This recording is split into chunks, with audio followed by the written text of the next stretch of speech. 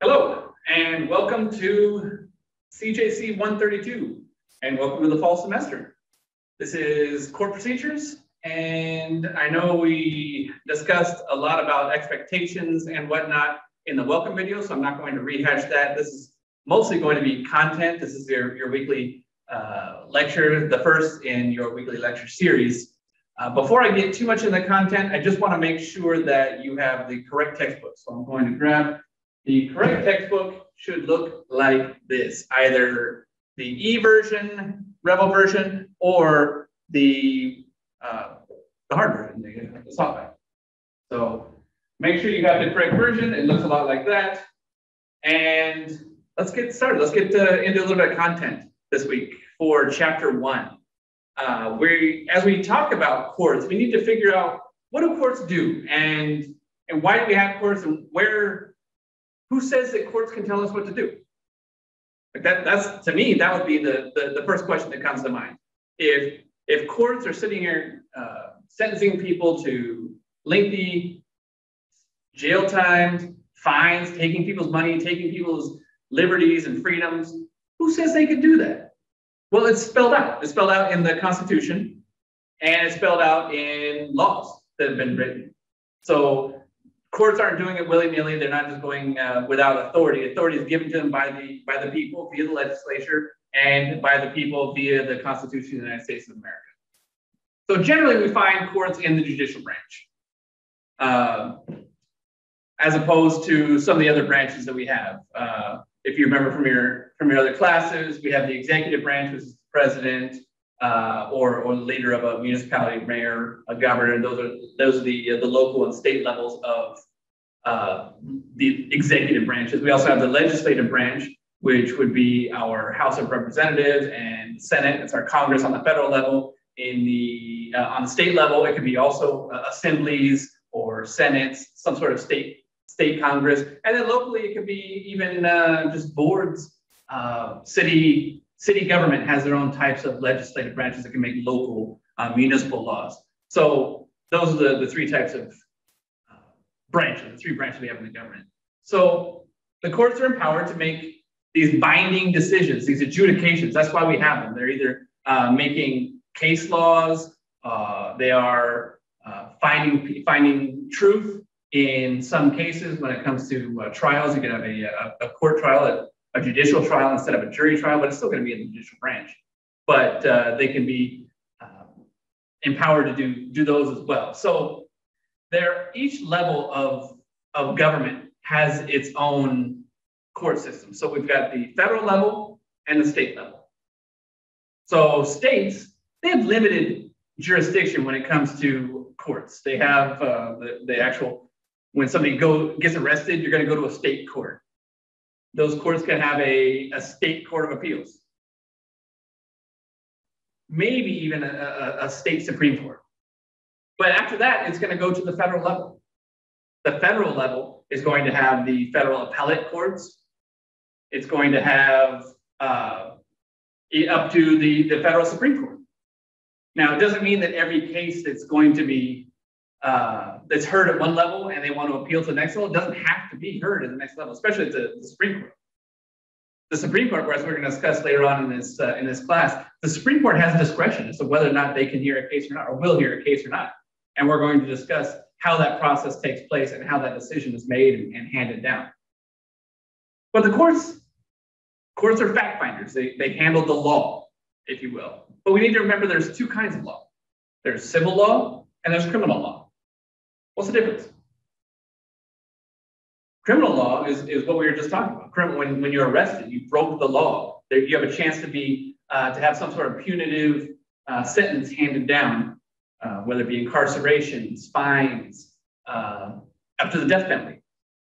Civil, if you break civil law, or if, you, if you're involved in a civil law situation, you're not going to get the death penalty. You can't, because civil law doesn't deal with death penalty or incarceration like that. Civil laws are lawsuits when somebody's wronged and they need to be made whole, need to be made right, then civil law is the, uh, the answer to that. We also need to remember that uh, when it does come to criminal law, the court, when the courts are handling criminal laws, there's three, three levels of violations of the law felonies, misdemeanors, and infractions. infractions are the lowest level. Infractions are like speeding, uh, running a stop sign, um, you know, racing. Just any, anytime you, you might get a ticket, running a stoplight, weaving, not using your turn signal, all those things. Those are all infractions. Those all come generally with just a fine. You can't go to, you're not going to get a death penalty for an infraction, right?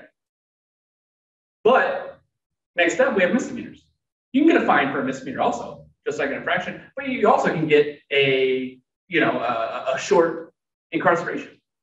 And you bump that up to felonies, you can still get a fine, you can still get a short incarceration, but you can also get a lengthy incarceration up to the death penalty. So that's how our, our three uh, categories of criminal law violations exist.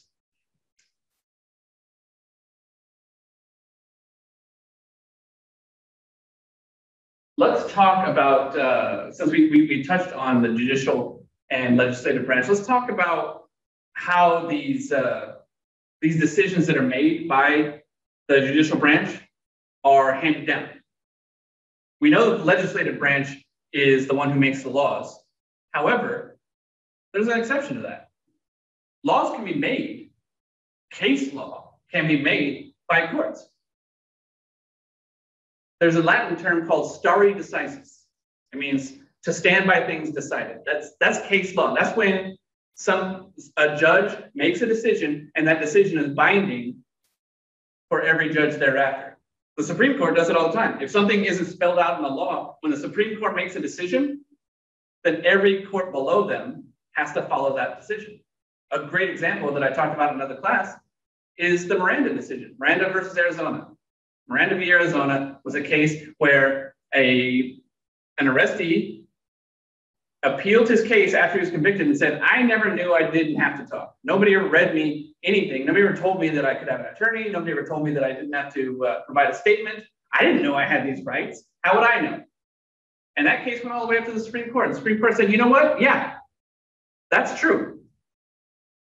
We should be telling arrestees that they have these rights. Otherwise, how else are they going to know? And so that's how Miranda rights and reading somebody their rights came to be. It was a case law, and now it's law. Now every court follows that, that same decision, and even uh, the, the law enforcement branch has to follow that decision, otherwise they'll be in violation of that case law. So the judicial branch has what we like to call an adversarial system. Adversarial is, you know, uh, fighting, combating, competing. That's, that's what adversarial means. So how does that come to play in our courses? Somebody's arrested, they go to a jury trial, they go to, they, they go to court, and you've got the prosecutor who is pounding away with evidence, but you also have a defense attorney or, you know, the, the um, an offender can represent himself, but in general, there is some sort of attorney in court uh, representing the offender, and they're giving their side of the story. They're giving the offender side of the story. Every time the, the prosecutor has something to say, there's a counterpoint by the defense. That's why those two are competing. It's adversarial because both sides present evidence. That's how due process occurs. It, it wouldn't be much due process if only one side told the story. The exception to that is that it's uh, in grand juries. Grand juries, only one side tells the story because the, the offender isn't aware that that hearing is taking place. Grand juries are usually in, uh, in private and only the prosecutor tells the side, their side of the story and the grand jury decides, okay, should this person go to, to trial? Now, nobody can be found guilty at a grand jury because that wouldn't be due process. But what they can do is say, yes, that person should go to trial. And then they can go arrest the, uh, the offender and then opt for a trial where both sides tell their side, their story, and we have the adversarial system where due process is allowed and necessitated by law. So the opposite of the adversarial system is the inquisitorial system. We don't have that in the United States. The inquisitorial system is in other countries where you can either be forced to testify against yourself, questioned, where the whole trial is get up on the stand and let's ask you a bunch of questions and we're going to prove that you did it. And if you don't answer the questions right, bad things might happen. That's inquisitorial system. I think, my opinion, I think we have a much, much better, much more fair system. I'm a big uh, proponent of due process, obviously, and I think that if we went to the uh, to another system, it wouldn't nearly be as beneficial for society uh, as a whole, because due process, uh, fairness brings a much more uh, content society. That's all I have for this week's lecture. Make sure you look at week one for the, uh, the assignments, the discussion board, the Revel. Uh, make sure you just turn in your, your initial post by Wednesday and your two replies by Sunday, and that your initial post has 300 words and your replies have 150 words each at least, and that your initial post has at least two references. Uh, I look forward to reading all of your submissions this week, and also don't forget your, uh, your Revel. Uh, all your Revel assignments need to be completed uh, by the end of the week. If you have any questions, please use the, the, contact information in Blackboard to get a hold of me. Check my office hours if you want to stop in and we can always chat in person. Until then, I look forward to reading your submissions and we will talk soon.